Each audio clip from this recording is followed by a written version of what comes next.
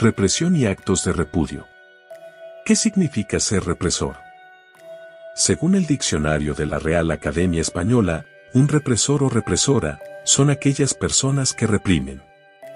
Su concepto ha estado estrechamente vinculado a la historia política de la humanidad.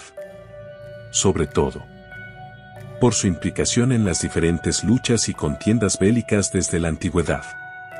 Las personas o los gobiernos represores también son denominados déspotas, tiránicos y opresivos. En los países cuyo pueblo vive en dictadura, la represión es una práctica muy cotidiana. Se reprimen los derechos de movimiento, la libertad de expresión, las libertades políticas, la libertad de prensa, la afiliación religiosa, la libertad económica y de comercio, etc son formas de control para oprimir o subyugar a otros, coartando su libertad plena y natural. En muchos casos, los estados disfrazan la represión de justicia y de leyes para garantizar la llamada tranquilidad ciudadana. Pero en realidad, son mecanismos para imponer la obediencia y la sumisión. Generando así la naturalización y justificación de los atropellos por parte de la misma ciudadanía.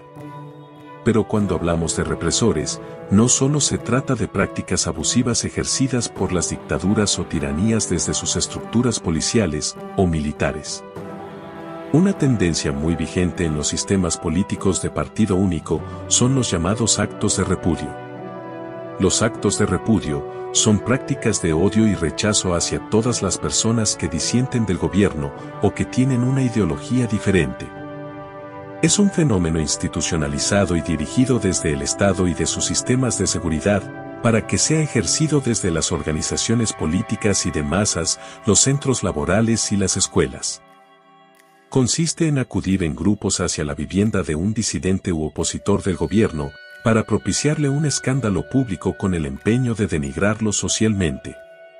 Los participantes, que por naturaleza también son represores, lanzan ofensas y groserías además de consignas políticas y revolucionarias a favor del Estado, de sus gobernantes y de la ideología.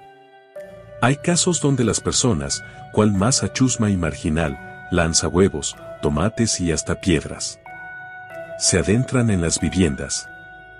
De manera ilegal y utilizan pinturas para escribir en sus fachadas consignas políticas como forma de imponer la ideología a la fuerza. Todo ello, sin importar que dentro de esa misma vivienda hayan familias con niños, ancianos o enfermos. Para los represores políticos e ideológicos, la ideología es lo primero. En nombre de la patria, todo está permitido, aunque se trate de la injusticia y el atropello. Por otro lado, los medios de comunicación estatales también se convierten en represores por excelencia. Toda vez que apoyan, justifican y promueven este tipo de fenómeno.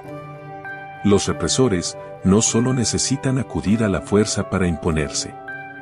Las consignas políticas, el control exagerado de la movilidad ciudadana.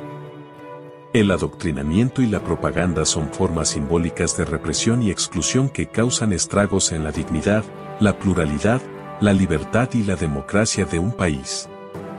La gente que participa en actos represivos, por lo general son víctimas de la ignorancia.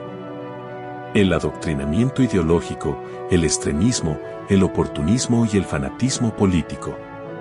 Por todo lo anteriormente expuesto, los ciudadanos de un país que no aceptan las diferencias políticas de sus paisanos y que apelan a cualquier método para defender el sistema político, son también represores.